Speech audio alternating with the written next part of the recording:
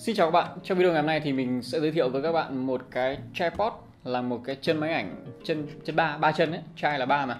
Một chân máy ảnh mà nó sẽ được cho là tốt nhất trong tầm giá của nó. Đây là một cái chân máy ảnh tới từ hãng là Yuntang và nó có ghi một dòng chữ bên cạnh đó là video tripod.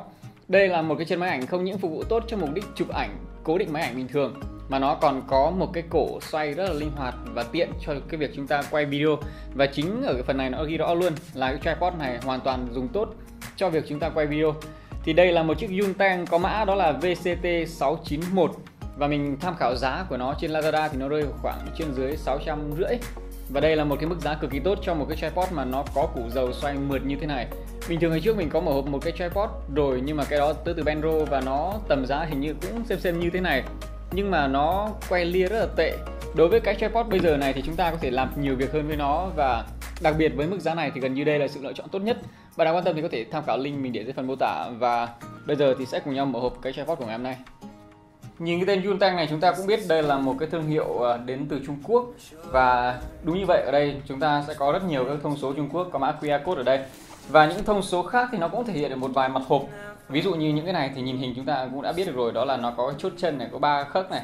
Uh, sẽ có một cái um, cái fluid đẩy rất là tiện hoặc là cái này là cái kết nối nhanh uh, vân vân. Và ngay dưới đó thì chúng ta sẽ có thông số chính của tripod này đó là độ cao cao nhất thì đạt vào khoảng một mét rưỡi. Khi mà xếp lại thì nó vào khoảng ờ, 54 phân và chịu tải khoảng 3 cân và nó sẽ nặng tripod này nó sẽ nặng một cân rưỡi. Đó. Và bây giờ thì chắc chắn sẽ là phần mở hộp cái hộp của nó thì đơn giản thôi. Và bên trong thì chúng ta sẽ có đây là cái túi tripod cái túi của nó. Ok tất cả là như vậy. Đây là một cái túi khá là bé và tương đối tiện để chúng ta có thể mang vác đi. Đây có một túi này sách cũng được mà đeo cũng được. Uh, quá ở đâu ở đây. Thực ra mình cũng chưa mở cái tripod này ra. Đó. Bên trong thì mới là nhân vật chính và nó được bọc trong một cái nắp túi ni lông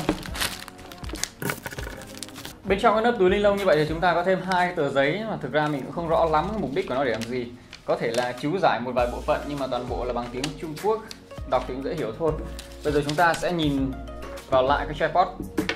Cái điểm quan trọng nhất của một cái tripod dành cho quay video đó là cái sự chắc chắn. Tất nhiên cái tripod này cũng đủ chắc chắn và mình nghĩ là cái độ chắc chắn của nó khá tốt. Thứ hai đó là cái cổ dầu của nó phải mượt và linh hoạt ở đây thì chúng ta sẽ có rất nhiều chốt. Nếu như các bạn chưa từng dùng qua tripod ừ, dạng dạng như này thì có lẽ sẽ bị bối rối, nhưng mà dùng qua rồi thì sẽ cảm thấy là nó ghi nhớ nó bình thường thôi. Ví dụ cái chốt này đi, thì chúng ta là cái chốt quay ngang. Khi mà mở nó ra thì chúng ta có thể quay cái chủ ở giữa này. Nó có một củ dầu êm. Các bạn nhìn mình quay nhé đó. Thực sự rất êm, rất nhẹ. Đó, chúng ta dùng thanh này.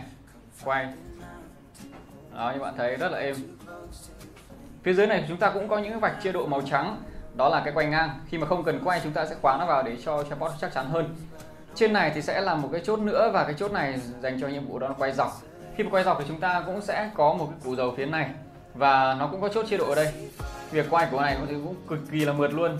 Đó như bạn thấy. Không hề bị khựng một tí nào và mình không nghĩ là với mức giá như này cái tripod uh, à, cái gì nhỉ? Chín sáu chín một này có thể thực hiện được tốt như vậy. Nó như bạn thấy cực kỳ êm và mượt đó là cái chốt bên này. Còn khi mà các bạn uh, cần lấy máy ra khỏi tripod thì chúng ta sẽ dùng cái chốt này đẩy nó ra và chúng ta sẽ nhấc. Đó. Cái này sẽ là cái để chúng ta sẽ gắn dùng cái này để xoay. Xoay xoay. Xoay và gắn nó vào à, cái đít của máy ảnh. Nó sẽ có chốt như này. Nó gắn vào đít. Sau khi gắn vào máy ảnh rồi thì chúng ta sẽ đưa nó vào từ bên hông đưa vào đây. Đó và ấn xuống. Đó khi mà ấn xuống ấy, thì cái bên này nó sẽ tự động nó đẩy vào đây và nó sẽ giữ chốt vào đây rồi. Mỗi lần chúng ta muốn tháo ra thì chúng ta sẽ đẩy nó ra như thế này. Đó, nó sẽ tách ra, kiểu như vậy. Ngoài ra cũng sẽ có một cái chốt nữa ở phía bên đối diện này. Đây, chúng ta sẽ có một cái chốt để mở ra như này. Và cái này nếu mà mở ra mở ra như vậy thì sẽ là chúng ta tháo cái thanh, tháo cái thanh cầm tay, cái thanh trợ lực này ra mỗi khi mà chúng ta di chuyển hoặc là chúng ta không cần dùng đến thanh này, sợ nó vướng víu chẳng hạn, ví dụ ở chỗ đông người chẳng hạn, thì chúng ta có thể tháo rời cái thanh này ra và lắp vào khi cần.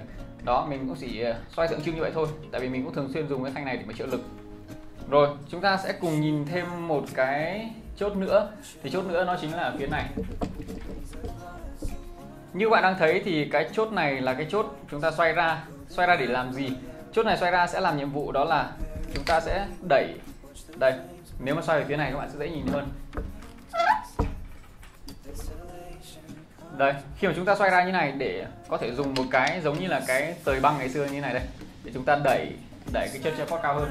Đó đẩy đẩy như tời băng như này. Thả ra là nó sẽ tự động lăn xuống. À không cái này nó sẽ giữ chặt rồi. Bây giờ lại phải kéo xuống kéo xuống. À, như vậy là nó cũng có trợ lực xuống. Đó chứ bình thường những cái tripod khác khi mà mình thả ra, cái này nó sẽ lập tức nó bị sức nặng đẩy xuống và rồi cái này sẽ xoay lăn lăn như trong chóng luôn. Thế nhưng bây giờ chúng ta lại phải xoay bằng tay, trợ lực khá tốt. Ví dụ đây là đạt đến độ cao mong muốn của tripod của các bạn rồi, các bạn sẽ khóa cái chốt này vào để nó chắc chắn hơn. Đó, như vậy thôi. Khá là thông minh. Rồi và cuối cùng thì chúng ta cùng nhìn vào một cái điểm xanh đây là một cái điểm xanh và là một cái giọt nước để chúng ta căn được là cái tripod của chúng ta nó đã thẳng chưa?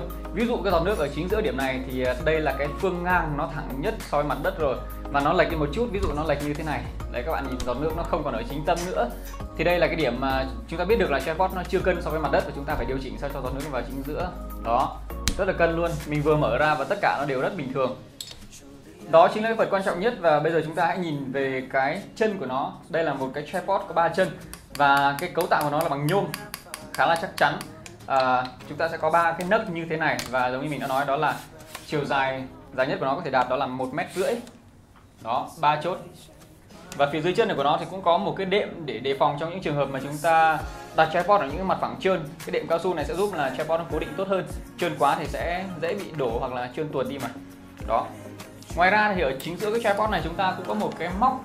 Ví dụ đôi khi chúng ta gắn một cái điện thoại lên khiến cho chịu tải nó nhẹ quá thì chúng ta có thể gắn thêm một cái gì đó ở đây để mà tripod nó cố định tốt hơn. Ví dụ tripod nó nhẹ quá thì rất dễ bị lung lay bởi gió chẳng hạn thì chúng ta treo một vật gì nặng ở đây, nó sẽ cố định tốt hơn, bám đất chắc hơn. Đó.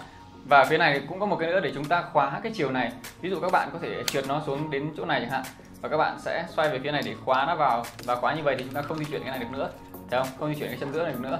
Muốn di chuyển thì chúng ta lại phải mở nó ra như này, để lên trên, là đến chỗ cần thiết lại khóa nó vào. Đó. Như vậy thì chức năng của tripod này cực kỳ đầy đủ, và quan trọng nhất, không những đầy đủ, mà chức năng của nó hoàn toàn thể hiện một cách rất là ok. Ví dụ như là những chức năng này, mình à, sử dụng nó rất là dễ dàng. Cái hành trình khóa của nó cũng tương đối ngắn, không quá dài để bị mỏi tay hoặc là hoặc là cái móc treo như này. Không phải tripod nào cũng có và đôi khi nó còn bị rơi mất, vân vân. Vừa sau mình đã giới thiệu tới các bạn một cái tripod mà chúng ta có thể dùng để chụp ảnh hay là thậm chí quay video rất tốt.